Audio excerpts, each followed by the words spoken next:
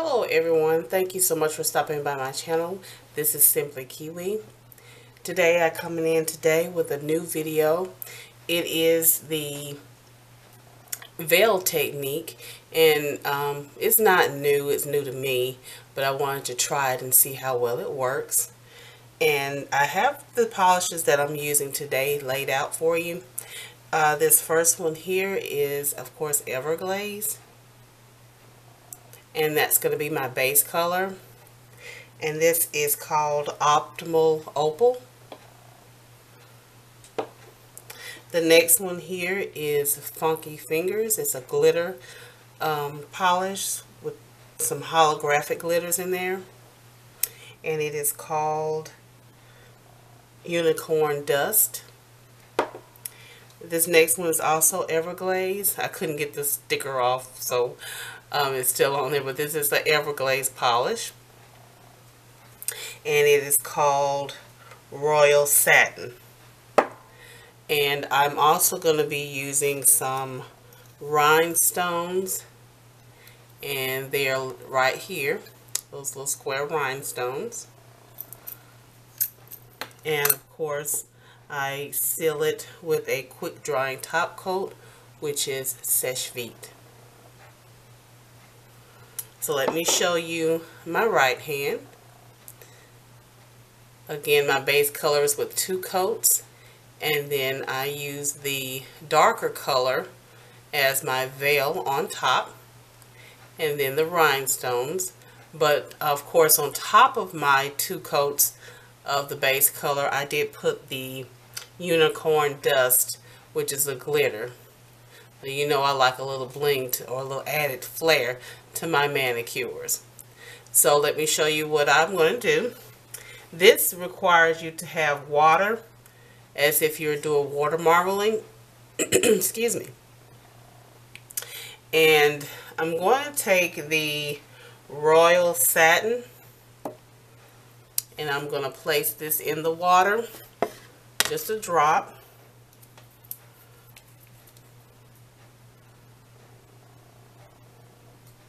And let it spread on its own. With this uh, technique, uh, you can use uh, two wood sticks dampened or um, I'm going to be using a, um, a dotting tool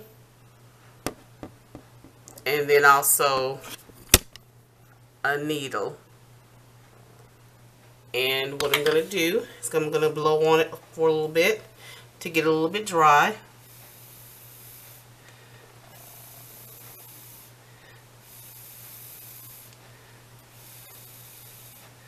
And then you're going to take the two utensils that you're using, you're going to press it towards the middle, pinch it together,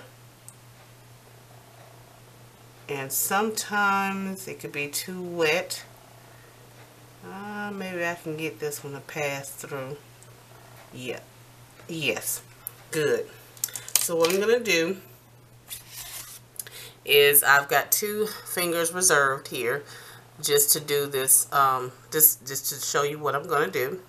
So I'm going to use my uh, ring finger and I am going to place my finger where I want to place the veil and I'm going to dip into the water and bring it back out.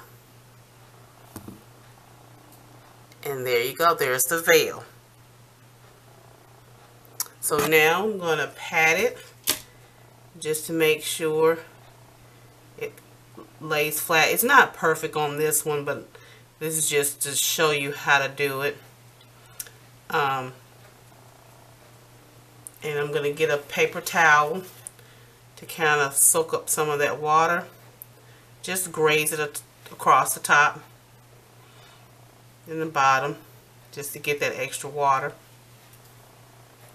And I'm going to get an orange wood stick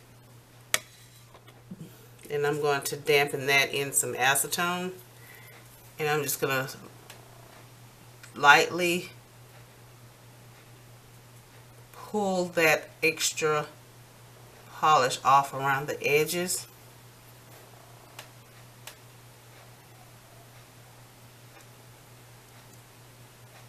just to get that cleaned off. I've got an extra paper towel over here to clean it off. And then I'm going to take my orange wood stick, dip it in some water. I'm going to get my rhinestone. First I'm going to use my Broadway clear top coat. and place that in the middle so I can adhere that rhinestone to.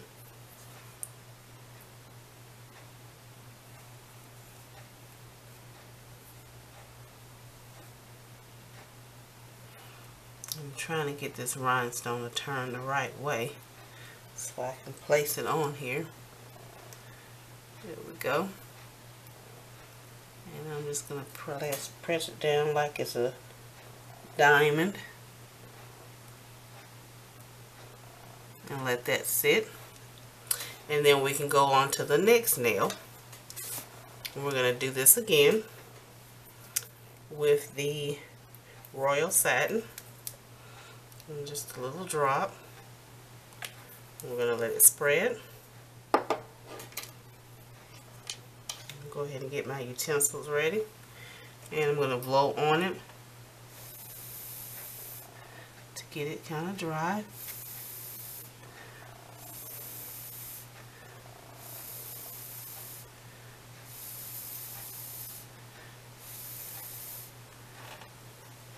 We'll try to squeeze it together and pinch it.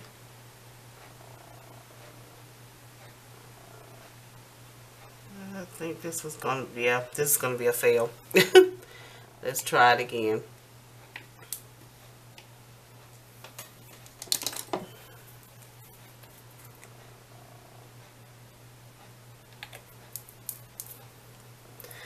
Excuse me. And I'm going to blow on it again.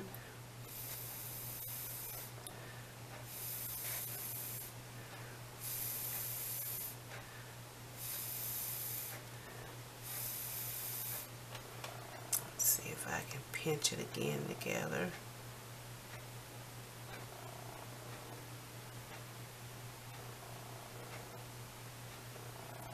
Trying not to pull it apart. Ah. There's another one, bites the dust. It's always a trial and error with this.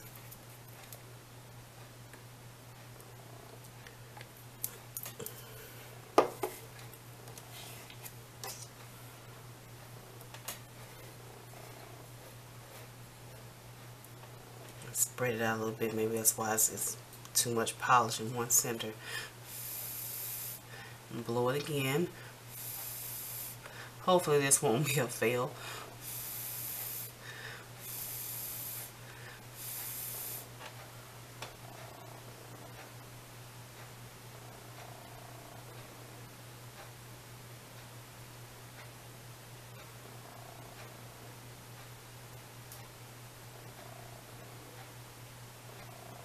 Ah, yep, this one's a fail too.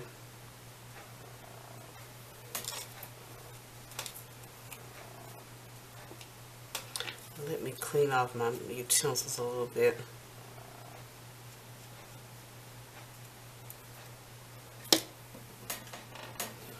It might be another issue because I might have too much polish on the ends of them. So cleaning those off.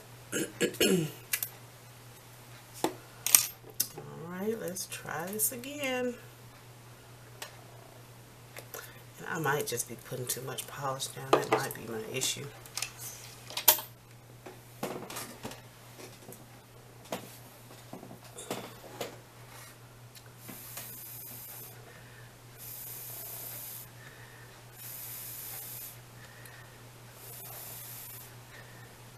Just testing it to see if it's too wet.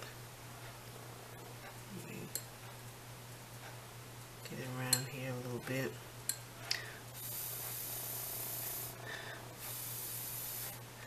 Okay, let me try it again.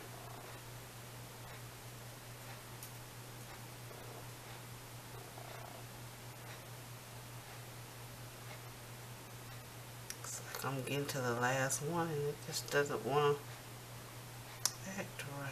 Come on.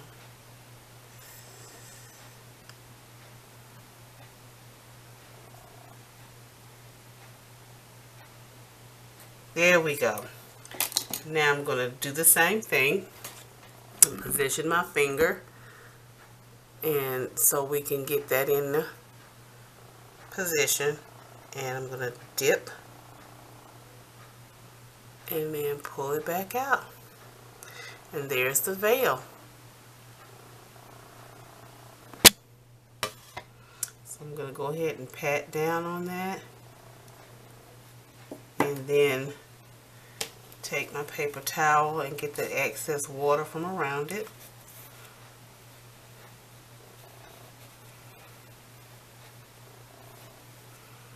take my orange stick and dip it in acetone.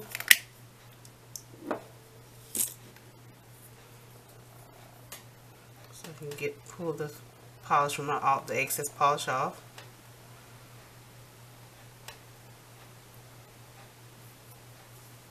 And because it's already pretty much dry when you take it out, um, you don't really need any liquid latex because it comes right off as you can see. Then again, I'm going to go in with my clear top coat and my dampened orange stick so I can get my rhinestone.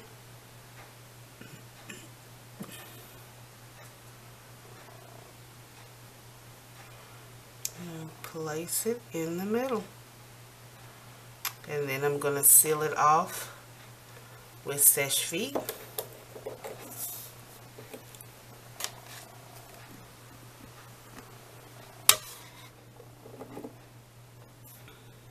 And of course, put a generous amount and go slowly so you can get around that rhinestone so it can get sealed in really good.